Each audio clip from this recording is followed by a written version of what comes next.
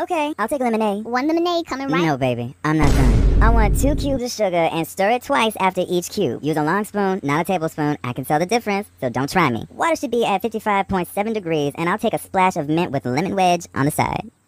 Thank you. That will be one dollar and fifty cents. This ain't what I ordered. We know, but like, this is a lemonade stand, not a. All you can eat buffet. no, that's food. They got drinks too. Look, the customer is always right, and I'm not paying for this. Fresh lemonade, freshly squeezed. Billy, Heart in a cup. Billy, stop. Can't get enough.